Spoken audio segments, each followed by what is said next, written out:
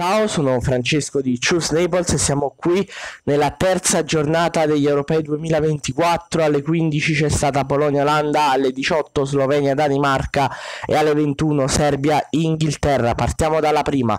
L'Olanda domina tutta la partita ma nel primo tempo va in svantaggio. La Polonia quindi passa in vantaggio anche senza eh, i suoi bomber, Lewandowski e Milik.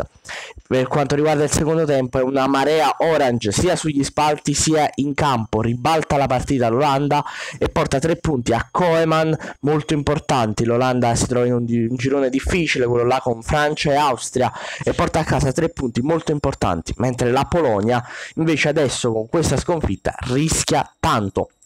Alle 18 Slovenia-Danimarca, tantissima attesa per il ritorno in campo di Josip Ilicic e di Christian Eriksen. Il primo purtroppo non gioca e sarà a disposizione per le altre due partite, mentre Christian Eriksen ritorna a un europeo, ritorna a segnare siglando il primo gol della Danimarca Euro 2024. Buona partita, i danesi dominano per tutto il primo tempo, per quanto invece riguarda il secondo c'è solo la Slovenia in campo che mette alle strette, mette alle corde.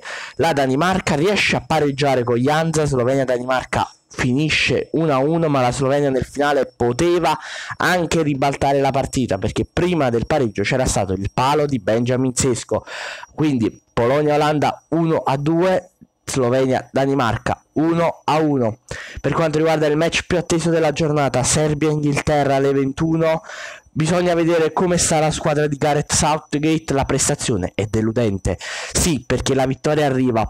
La vittoria arriva grazie a un Jude Bellingham che alla fine porta i tre punti a casa, ma che a livello di prestazione non combina molto come tutti gli altri 11 uomini dell'Inghilterra. Brutta prestazione, un primo tempo buono dove però la Serbia non c'era stata in campo, mentre per quanto riguarda il secondo c'è solo la Serbia. E da sottolineare un particolare che l'Italia al novantesimo costruiva dal basso e usciva dal basso con Donnarumma, Di Marco, Bastoni e tutta la difesa, mentre l'Inghilterra dal cinquantesimo minuto sul risultato di 1-0 ha iniziato a buttare palloni avanti e a perdere tempo, segno che non c'è tantissima fiducia, abbiamo visto anche i calciatori nervosi in campo, mentre Spalletti aveva sottolineato che nessuno si era lamentato dell'errore di Di Marco eh, che ha portato poi il vantaggio dell'Albania.